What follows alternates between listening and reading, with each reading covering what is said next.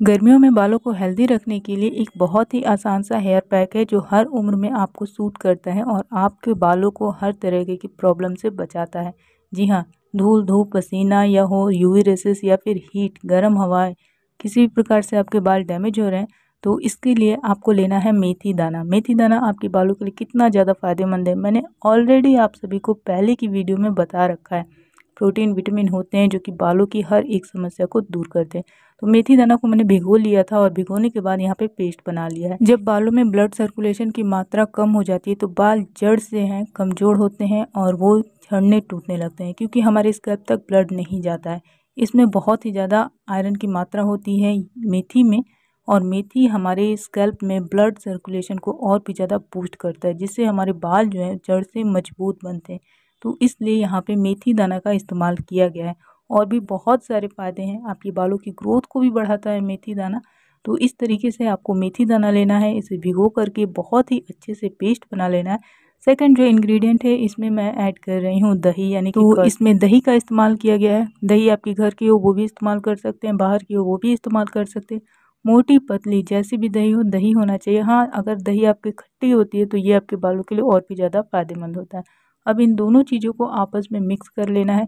Dandruff की समस्या हो तो दूर हो जाएगी स्कैल्प में इचिंग हो रही हो दूर हो जाएगी।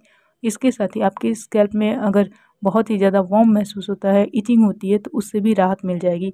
बालों को कंडीशनर करेगा, आपके स्कल्प को बहुत ही अच्छे से मॉइस्चराइज करेगा। तो इस तरीके से पैक को बना करके आपको अपने वॉश हेयर में, धुले हुए बालों में इसको अच्छे से अप्लाई करना है। अप्लाई करने के बाद क्या करना है? एक घंटे के लिए इसको रेस्ट पे छोड़ देना है। एक घंटे रेस्ट पे छोड़ने के बाद आपको इसे शैम्पू से वॉश कर लेना है। इस हेयर पैक को आपको लगाना है हफ़्ते में दो बार। केवल दो बार इसे इस्तेमाल करना है और आपकी बालों की हर एक समस्या, हर एक समस्या का समाधान हो जाएगा। जड़ से आपकी प्रॉब्लम ठीक होने लगेंगे, लेकिन हाँ थोड़ा टाइम लगेगा।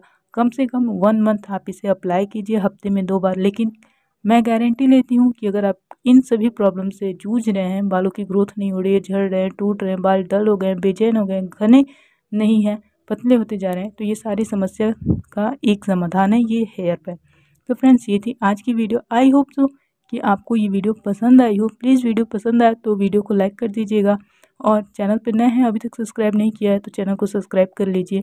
आप देख सकते हो कि मैंने एक घंटे बाद अपने बालों को वॉश किया था और मेरे बाल किस तरीके से दिख रहे हैं. तो अगर ऐसे चाहिए स्मूथ शाइनी और मैनेजेबल हेयर तो आपको इस पैक को लगाना है कितनी बार? हफ़्ते में दो बार लगाना है। एक घंटे के लिए रेस्ट पे छोड़ना है, उसके बाद माइल्ड शैम्पू से इसे वॉश कर लेना है। तो ये थी आज की वीडियो मैं मिलूँगी अगली वीडियो में। तब तक के लिए bye take care and love you all